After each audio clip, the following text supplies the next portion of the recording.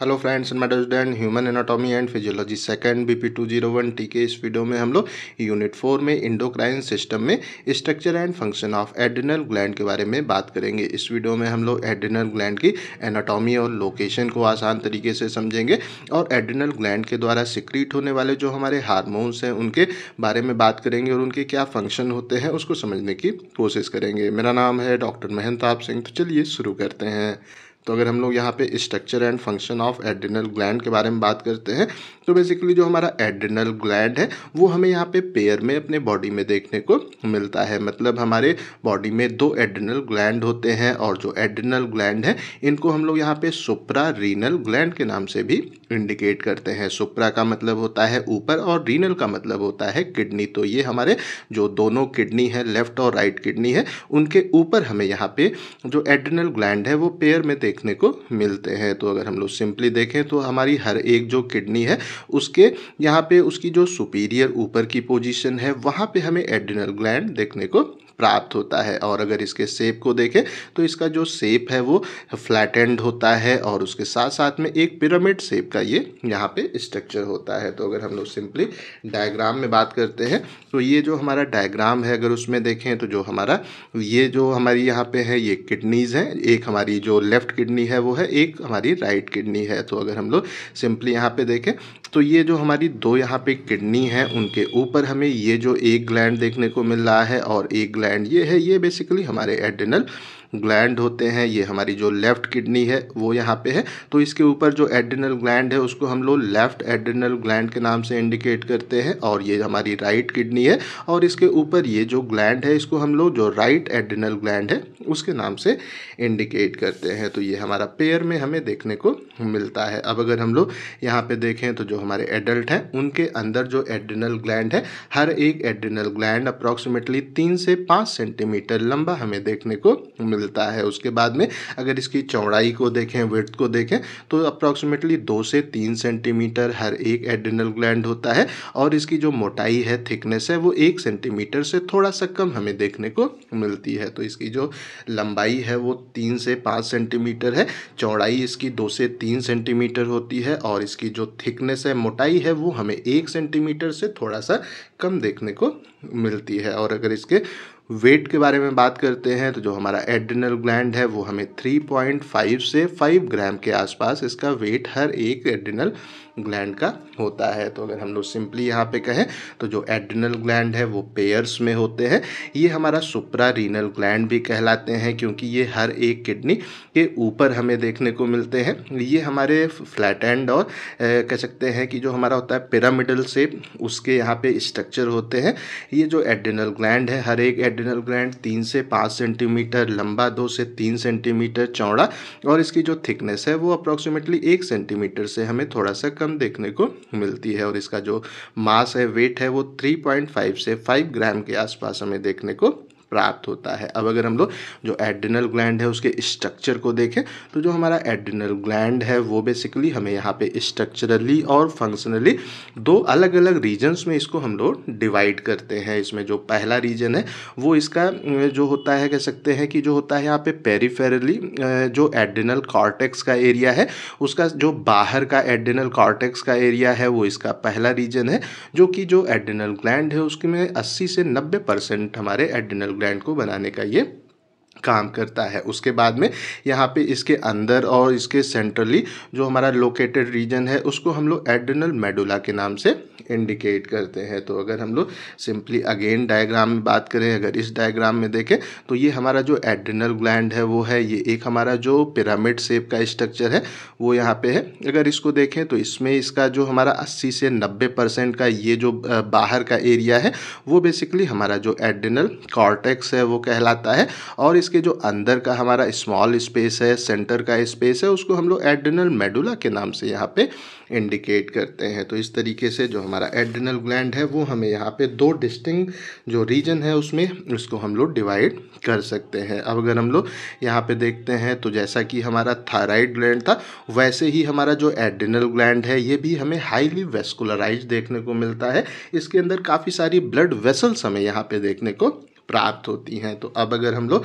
इस प्लेस पे बात करते हैं तो जो हमारा यहाँ पे, जो हमारा एडिनल कॉर्टेक्स का यहाँ पे वो रीज़न होता है, वो बेसिकली हमारे स्टेरॉइड हार्मोन्स को प्रोड्यूस करता है। और ये जो स्टेरॉइड हार्मोन्स हैं, ये हमारे लाइफ के लिए काफ़ी इसेंशियल होते हैं। अगर ये जो हमारे स्टेरॉइड हार्मोन है, जो कि एडिनल कॉर्टेक्स से रिलीज़ होते हैं, अगर ये कम्प्लीटली इनका हमारे बॉडी से लॉस हो जाता है, ये जब यहाँ से प्रोड्यूस और सिक्रीट नहीं होते हैं तो क्या होता है कि उस कंडीशन में जो ह्यूमन्स हैं, उनकी हमें डेथ भी होते हुए देखने को मिल सकती है, क्योंकि जब इनकी अपसेंस हो जाती है तो हमें डिहाइड्रेशन की स्थिति अपने पेशेंट के अंदर वो देखने को मिलती है, पानी की उसके अंदर काफ़ी कमी हो जाती है, और इलेक्ट्रोलाइट का भी इम्बैलेंस हमें उसके अंदर देखने को मिलता है, जिसके कारण हमारे पेशेंट की यहाँ पे डेथ भी हो सकती है। इसके लिए हम लोग हार्मोन रिप्लेसमेंट थेरेपी को बेसिकली यहाँ पे यूज़ करते हैं। बाहर से इन हार्मोन्स को पेशेंट को देने का काम करते हैं। उसके बाद में अगर हम लोग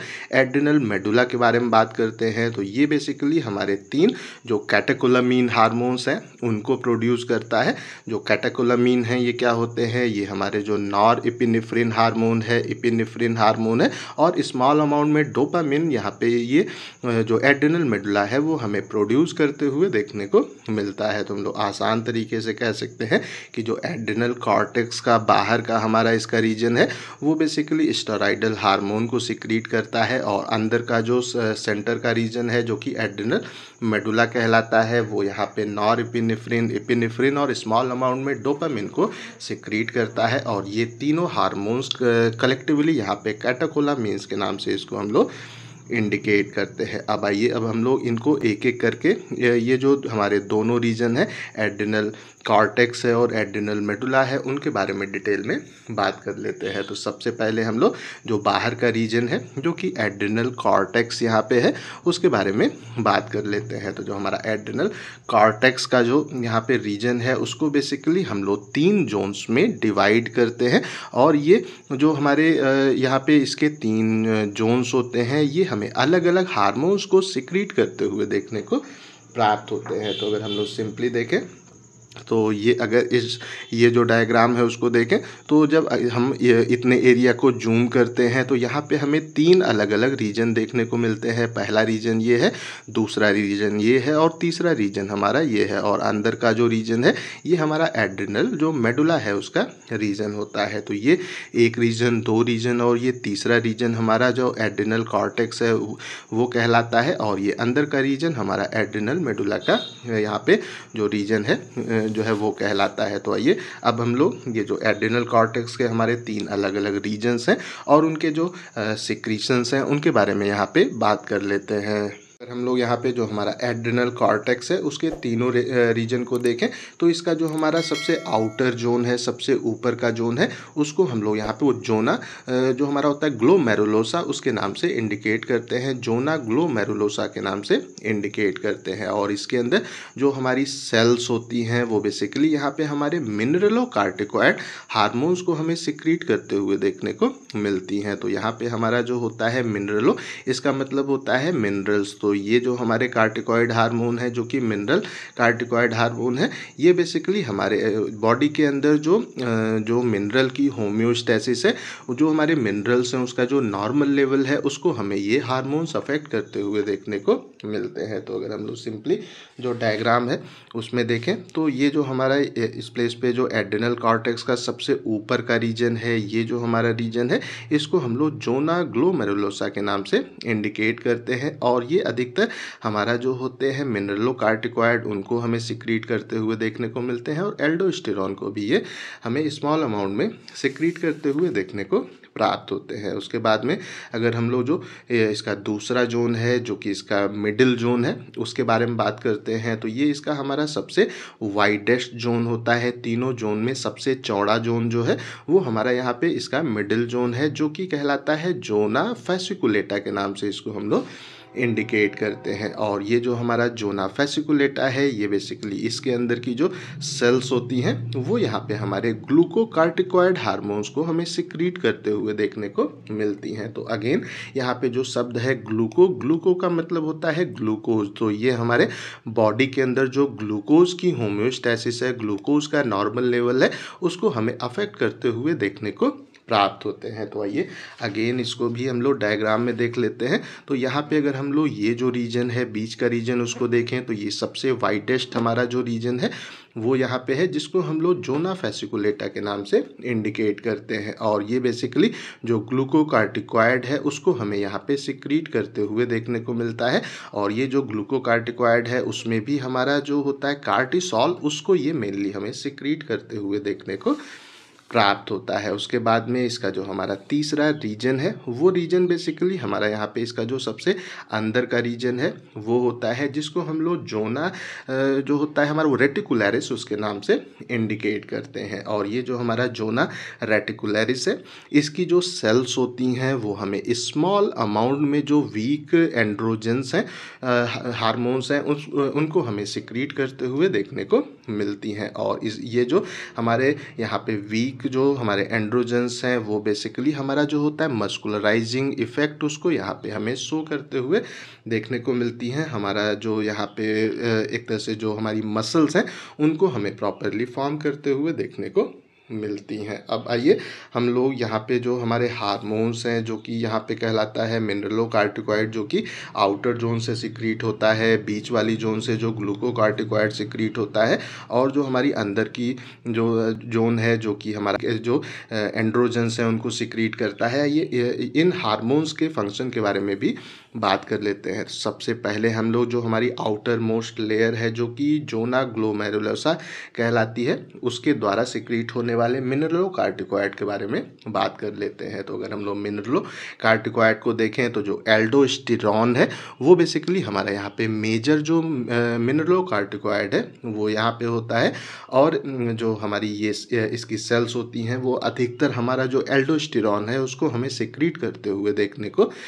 प्राप्त होती हैं। और ये जो एल्डोस्टिरॉन है, ये बेसिकली हमारे बॉडी के अंदर जो सोडियम आयंस होते हैं और पोटेशियम आयंस होते हैं, उनकी जो होम्योस्टैसिस है, उसको हमें रेगुलेट करते हुए देखने को मिलता है। तो जब हम लोग यहाँ पे जो हमारा यूरिनरी सिस्टम है, उसमें बात कर रहे थे, वहाँ पे किडनी में हम लोगों ने एक जो हमारा सिस्टम है, उसके बारे में बात किया था, जो कि कहलाता है रेनिन एनजियोटेंसिन एल्डोस्टिरॉन सिस्टम तो वहाँ पे हम लोगों ने एल्डोस्टिरॉन का जो प्रॉपर फ़ंक्शन है कि वो हमारे जो ब्लड प्रेशर है ब्लड वॉल्यूम है, उसको किस तरीके से रेगुलेट करता है और उसमें जो उसको वहाँ पे प्रॉपर रेगुलेट करने के लिए किस तरीके से वो सोडियम और पोटेशियम आयंस की होम्योस्टैसिस को हमारे ब्लड के अंदर मेंटेन करता है, उसके बारे में हम लोगों ने वहाँ पे डिटेल में बात कर रखा है। तो उसकी लिंक आपको डिस्क्रिप्शन में मिल जाएगी, वहाँ पे भी जाके आप इसको अच्छे से देख सकते हैं। तो हम लोग सिंपली कहें तो जो मिनरलो कार्टिकॉइड में मेन हार्मोन है, जो कि एल्डोस्टेरॉन है, वो हमारे ब्लड के अंदर सोडियम और पोटेशियम आयन की होम्योस्टैसिस को मेंटेन करता है। उसके साथ साथ में ये हमारा जो ब्लड प्रेशर है और ब्लड का वॉल्यूम है, उसको भी हमें रेगुलेट करते हुए देखने को मिलता है। और अगर हम लोग एल्डोस्टेरॉन के एक और फ़ंक्शन को देखें तो ये बेसिकली हमारे यूरिन के थ्रू जो H प्लस आयन है एसिड्स हैं, उनको हमें एक्सक्रीट करते हुए देखने को मिलता है। उसके एक्सक्रीशन को प्रमोट करता है, बढ़ाता है। तो जब हमारे जो ब्लड के अंदर एच प्लस आयंस हैं एसिड हैं, वो यूरिन के थ्रू सिक्रीशन को जब ये प्रमोट करता है तो क्या होता है कि हमारा जो बॉडी है, उसके अंदर जो एसिड्स हैं, वो हमें वहाँ पर रिमूव होते हुए देखने को मिलते हैं और जब एसिड हमारे बॉडी से रिमूव होते हैं तो ये बेसिकली एसिडोसिस को हमें प्रिवेंट करते हुए देखने को मिलता है। ब्लड की में एसिडिटी ब्लड की एसिडिटी एक लेवल से ज़्यादा न बढ़ने पाए। ब्लड के पीएच को एक प्रॉपर रेंज में मेंटेन करते हुए हमें देखने को प्राप्त होता है। उसके बाद में अगर हम लोग, यहाँ पे जो दूसरा हार्मोन है, जो कि हमारी जो बीज की लेयर है, उसके द्वारा सिक्रीट होता है, जो कि जो ना हमारा जो होता है फैसिकुलेटा, उसके नाम से इंडिकेट करते हैं, वो है हमारा यहाँ पे ग्लूको कार्टिकॉइड तो अगर हम लोग ग्लूको कार्टिकॉइड को देखें तो इसके द्वारा हमें तीन हारमोन सिक्रीट होते हुए देखने को मिलते हैं। जो पहला हारमोन है, वो हमारा यहाँ पे जो कार्टिसोल है, वो कहलाता है। दूसरा हमारा हारमोन यहाँ पे जो होता है, वो कार्टिको है है, उसके नाम से इंडिकेट करते हैं। और तीसरा हमारा यहाँ पे जो हार्मोन है, वो कार्टिसोन के नाम से इसको इंडिकेट करते हैं। और ये तीनों हमारे ग्लूकोकार्टिकॉइड यहाँ पे सिंपली होते हैं। और इसमें भी जो हमारा है कार्टिसोल वो यहाँ पे सबसे मेन हमारा हार्मोन है। अब अगर हम लोग यहाँ पे जो ग्लूकोकार्टिकॉइड है, उसके क्या हमारे बॉडी में इफ़ेक्ट होते हैं, अगर उसके बारे में देखें तो जो ग्लूकोकार्टिकॉइड है, ये हमारा जो प्रोटीन है, उसके ब्रेकडाउन को यहाँ पे उसके ब्रेकडाउन के रेट को बढ़ाने का काम करता है और जब प्रोटीन का ब्रेकडाउन होता है तो फिर इस प्लेस पे हमारे जो जो हमारी बॉडी की अमीनो एसिड की रिक्वायरमेंट है, वो हमें फुलफ़िल होते हुए देखने को मिलती है। और ये बेसिकली जो प्रोटीन का ब्रेकडाउन है, वो हमारे मसल फाइबर्स में ज़्यादा कराते हुए हमें देखने को मिलता है। तो हम लोग आसान तरीके से कह सकते हैं कि जो हमारा ग्लूकोकार्टिक्वाइड है, वो हमारे मसल फाइबर्स के अंदर प्रोटीन के ब्रेकडाउन के रेट को इनक्रीज़ करने का काम करता है। तो अगर हम लोग बात करते हैं तो जब हमारा प्रोटीन का ब्रेकडाउन होता है तो उसमें से जो कुछ अमीनो एसिड निकलते हैं, वो हमारे बॉडी में ग्लूकोज के फॉर्मेशन में हमें यूज़ होते हुए देखने को मिलते हैं। उसके बाद में जो दूसरा फ़ंक्शन है, वो इसका क्या है कि ये हमारे जो लीवर के सेल्स हैं, उनमें ग्लूकोकार्टिकॉइड लीवर के सेल्स को स्टिमुलेट करता है और फिर जो लीवर के सेल्स हैं, वो हमारे कुछ अमीनो एसिड्स को और जो लैक्टिक एसिड है, उससे फिर वो ग्लूकोज के फॉर्मेशन को यहाँ पे इंक्रीज़ करता है। तो इस तरीके से हमारा जब प्रोटीन का ब्रेक डाउन हुआ तो उससे जो अमीनो एसिड निकले, उसमें से कुछ अमीनो एसिड हमारी जो यहाँ पे लीवर की सेल्स हैं, वहाँ पे, वो हमें यहाँ पे जो ग्लूकोज है, उसमें कन्वर्ट होते हुए देखने को मिलते हैं। इसके साथ साथ में ये जो लीवर की सेल्स है, वहाँ पे ग्लूकोकार्टिकॉइड हमारे लैक्टिक एसिड को ग्लूकोज में कन्वर्ट करने की प्रोसेस को भी स्टिमुलेट करता है। उसके बाद में जो इसका तीसरा फ़ंक्शन है, वो क्या है कि ये यहाँ पे जो ग्लूकोकार्टिक रिक्वायर्ड है, ये जो लिपोलिसिस है, उसकी प्रोसेस को भी स्टिमुलेट करता है। तो ये हमारे लिपिड के ब्रेकडाउन की प्रोसेस को यहाँ पे स्टिमुलेट करता है, जिसको हम लोग लिपोलिसिस के नाम से इंडिकेट करते हैं। और हमारे बॉडी में जो सबसे ज़्यादा पाया जाने वाला लिपिड है, वो ट्राईग्लिसराइड्स होते हैं। तो हम सिंपली कह सकते हैं कि ये ट्राईग्लिसराइड के ब्रेकडाउन को हमें स्टिमुलेट करते हुए देखने को प्राप्त होता है उसके बाद में। अगर हम लोग इसका जो चौथा फ़ंक्शन है उसको देखें तो जो हमारे ग्लूको कार्टिक्वाइड हैं, वो हमारे यहाँ पे काफ़ी जो जो रास्ते हैं, वो काफ़ी उस तरह से हमारे स्ट्रेस को भी हमें यहाँ पे उससे हमें बचाते हुए देखने को मिलता है। स्ट्रेच का जो हमारा रेसिस्टेंस है, उसको हमें प्रोवाइड करते हुए देखने को मिलता है। और अगर हम लोग सिंपली यहाँ पे कहें तो ये जो हमारा ग्लूकोज की जो हमारी एडिशनल सप्लाई होती है, जब भी हम लोग स्ट्रेस की कंडीशन में होते हैं तो हमारा जो जो हमारी जो बॉडी है वहाँ पे ग्लूकोज़ की रिक्वायरमेंट काफ़ी तेज़ हो जाती है और ये जो हमारा एडिशनल ग्लूकोज़ की सप्लाई है, उसको यहाँ पे ग्लूकोकार्टिकॉइड स्टिमुलेट करने का यहाँ पे काम करते हैं और फिर उससे जो हमारा एटीपी फॉर्म होता है, वो फिर हमारे स्ट्रेस की कंडीशन को कम्बैट करने में, उसको यहाँ पे कम करने में हमें हेल्प करता है। तो इस तरीके से जो ग्लूकोकार्टिकॉइड है, वो हमारे स्ट्रेस से जो बॉडी का हमारा स्ट्रेस से जो होता है रेसिस्टेंस उसको हमें प्रोवाइड करते हुए देखने को मिलते हैं। खूब अच्छी क्वांटिटी में एटीपी को प्रोवाइड करके, उसके बाद में अगर हम लोग बात करते हैं तो इसका जो हमारा पाँचवा फ़ंक्शन है, वो क्या है कि जो हमारा हाई डोज अगर ग्लूकोकार्टिकॉइड हम लोग अपने पेशेंट को देते हैं तो वो हमारे इम्यून रिस्पॉन्स को डिप्रेस कर देता है, हमारे इम्यून सिस्टम को यहाँ पे डिप्रेस करता है। तो इसका यहाँ पे एक तरह से क्या यूज़ है? तो जब भी हम लोग किसी भी पेशेंट के अंदर ऑर्गन ट्रांसप्लांट करते हैं, किसी और के ऑर्गन को अपने जो हमारा पेशेंट है, जो रिसिपियंट है, उसके अंदर जब ट्रांसप्लांट करते हैं तो उस कंडीशन में हमारा जो इम्यून सिस्टम है, वो जो दूसरा आर्गन उसके अंदर लगाया गया है, उसको रिजेक्ट न करे, उसके लिए उसके इम्यून रिस्पॉन्स को हमें डिप्रेस करने की आवश्यकता होती है। और ये जो इसका डिप्रेशन है, वो हमें ग्लूकोकार्टिकॉइड के द्वारा होते हुए देखने को मिलता है। तो हम लोग आसान तरीके से कह सकते हैं कि अगर वो किसी भी कोई पेशेंट है, उसका कोई ऑर्गन ख़राब हो गया है, और किसी और पेशेंट के ऑर्गन को उसके अंदर डाल डालना है तो जब भी हम लोग उसके अंदर उसको ट्रांसप्लांट करेंगे तो क्या होगा? बॉडी का इम्यून सिस्टम उसको रिजेक्ट करने का काम करेगा कि ये भैया हमारा ऑर्गन नहीं है, ये किसी और का है। तो ये जो हमारा ऑर्गन का रिजेक्शन है, ये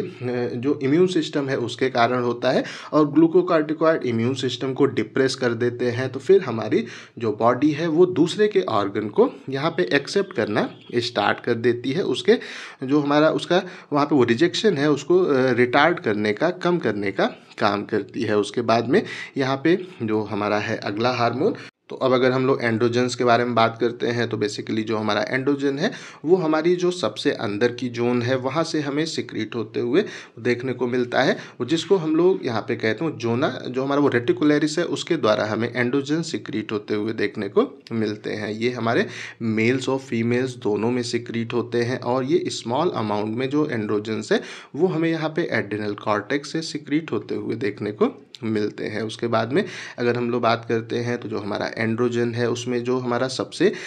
कह सकते हैं मेन या जो हमारा मेजर एंड्रोजन है वो बेसिकली डी हाइड्रो जो हमारा ईपी जो होता है एंड्रोस्टिरॉन जिसको हम लोग डी एच ई ए से इंडिकेट करते हैं वो हमारा यहाँ पे हमें सिक्रीट होते हुए देखने को मिलता है। अब अगर हम लोग इसके फ़ंक्शन के बारे में बात करते हैं तो ऐट द जो प्यूबर्टी है, जब कोई जो मेल है, वो जब वयस्क हो जाता है तो उस कंडीशन में इस प्लेस पे क्या होता है कि जो एंड्रोजन है, वो हमें टेस्टो जो हमारा यहाँ पे टेस्टोस्टेरॉन है, जो कि एंड्रोजन है, वो अधिकतर हमें जो जो मेल्स की टेस्टिस है, वहाँ से हमें प्रोड्यूस होते हुए देखने को मिलता है। तो इसके कारण हम यहाँ पे कह सकते हैं कि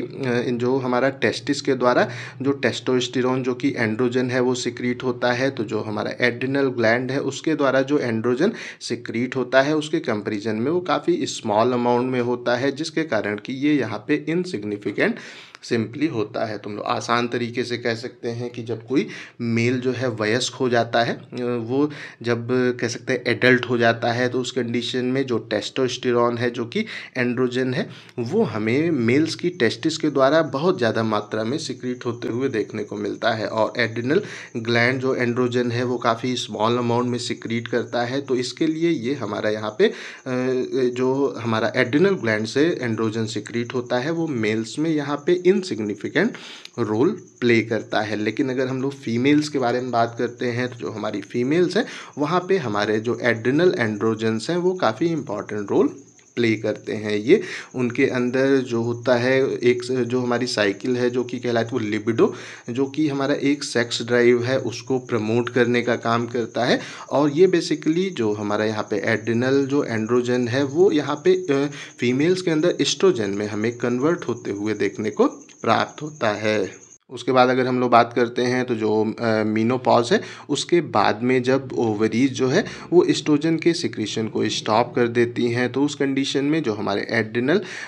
जो यहाँ पे एंड्रोजन्स होते हैं, वो फिर हमें यहाँ पे इस्ट्रोजन में कन्वर्ट होते हुए देखने को मिलते हैं। और ये जो इस्ट्रोजन है, वो हमारे फीमेल्स के अंदर का एक काफ़ी इंपॉर्टेंट सेक्स हारमोन है। अब हम लोग यहाँ पे जो हमारा दूसरा रीजन है, जो कि एड्रिनल मेडुला कहलाता है, उसके बारे में यहाँ पे बात कर लेते हैं। तो अगर हम लोग एड्रिनल जो मेडुला है उसको देखें तो जो हमारा एड्रिनल ग्लैंड है उसका जो अंदर का रीजन होता है, बीच का रीजन है, उसको हम लोग एड्रिनल मेडुला के नाम से इंडिकेट करते हैं। और इसके अंदर हमारे जो होते हैं, यहाँ पे कह सकते हैं मॉडिफाइड जो सिंपैथेटिक गैंग्लिया है एएनएस के, वो यहाँ पे हमें बेसिकली देखने को मिलते हैं। अब अगर हम लोग इस प्लेस पे यहाँ पे बात करते हैं तो जो यहाँ से जो ये जो हमारे जो हमारे एएनएस के यहाँ पे गैंगलिया हैं, वो हमारा जो न्यूरो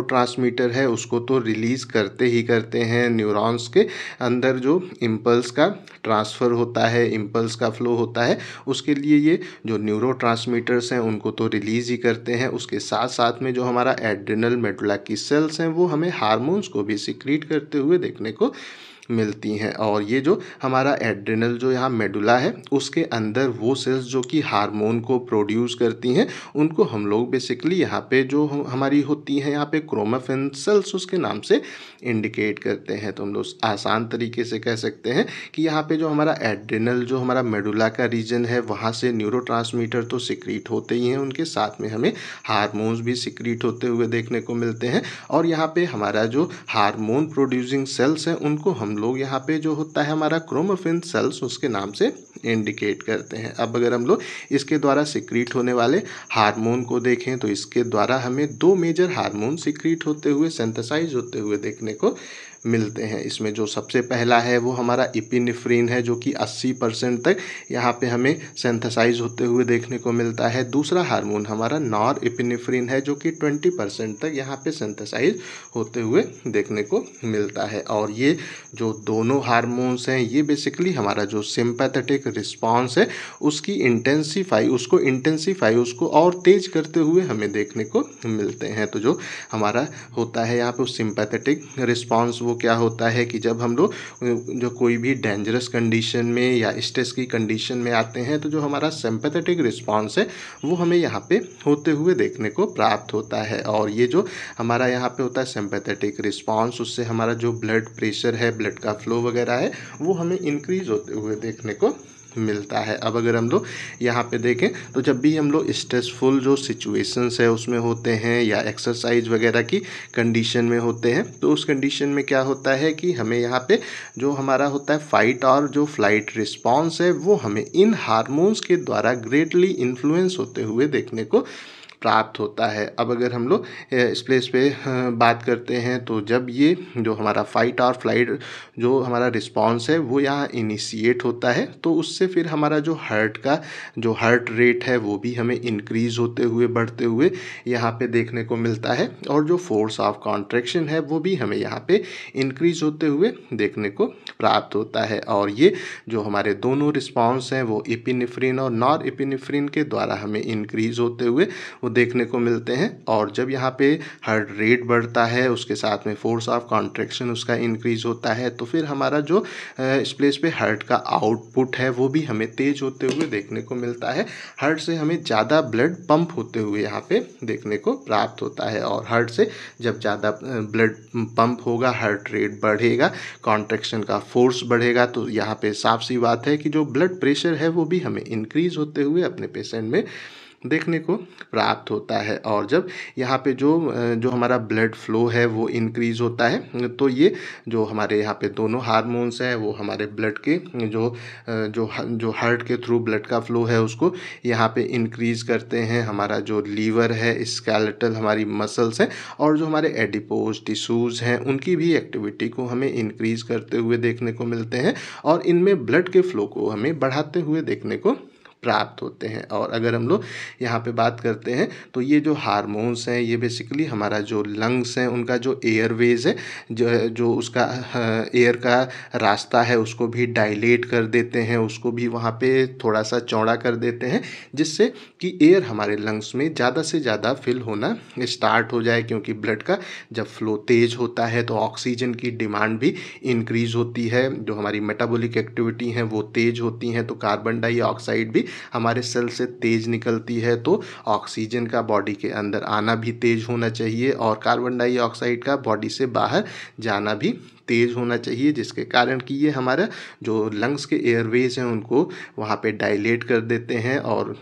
जो हमारा एयर का फ्लो है, वो हमें तेज होते हुए देखने को प्राप्त होता है। इसके साथ साथ में ये हमारा जो